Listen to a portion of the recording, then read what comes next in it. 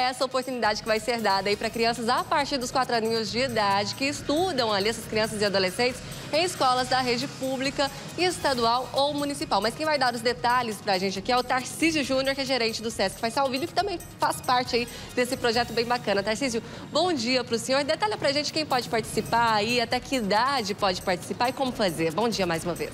Bom dia, bom dia a todos os telespectadores da Record TV Goiás. Bom, o projeto Esporte Sesc em Ação, ele contempla crianças de 4 a 16 anos, sendo que de 4 a 9 anos a iniciação esportiva e dos 10 a 16 anos, três modalidades disponíveis hoje.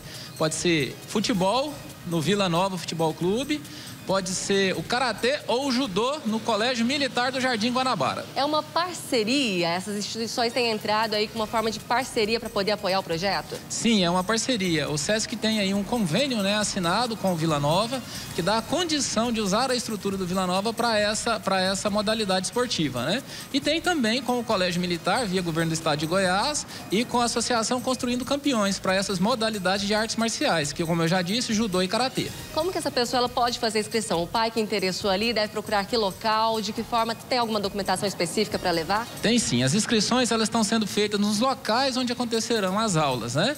É, nas unidades do Vila Nova, no, no estádio Onésio Brasileiro Alvarenga, no setor universitário, no CT do Vila Nova, no centro de treinamento do Vila Nova, no setor Jaó, fica bem próximo ali à Getop e também no Colégio Militar do Jardim Guanabara. A documentação é a documentação básica, né? Os documentos pessoais da criança e do responsável, é, o, o atestado de saúde dizendo que essa criança está apta à prática esportiva e também o atestado, o atestado médico, né?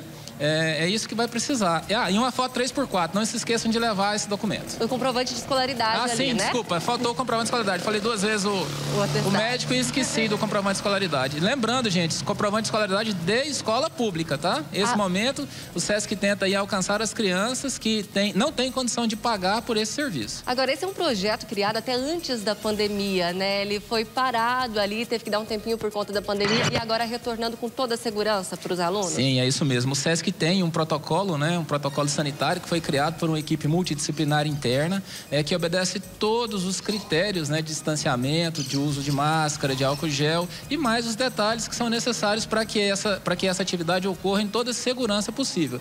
É, nós temos aí também é, que salientar é, que essas vagas, elas estão, o número de vagas também está obedecendo né, ao que prevê o decreto municipal. Né? Nós vamos trabalhar aí com a capacidade que o decreto permitir. Tem uma data para encerrar as inscrições, para a gente finalizar? Olha, nós temos as inscrições até o momento da gente conseguir a quantidade de inscritos que a gente precisa, né? Isso não quer dizer que as aulas não vão começar antes. A gente pode começar as aulas e, come... e também continuar com as inscrições. Imaginamos, né, que ainda no decorrer dessa, dessa próxima quinzena a gente já esteja com essas crianças aí batendo bola nos campos. Perfeito. Muito obrigada pelas informações, Juliana. Então, quem se interessou, procure uma dessas unidades citadas, viu? Porque assim que conseguir o número de alunos, essas aulas já começam. Então, não pode demorar, que eu tenho certeza que quem está assistindo aí se interessou vai correr para uma dessas unidades. Se demorar, pode perder a vaga, Juliana.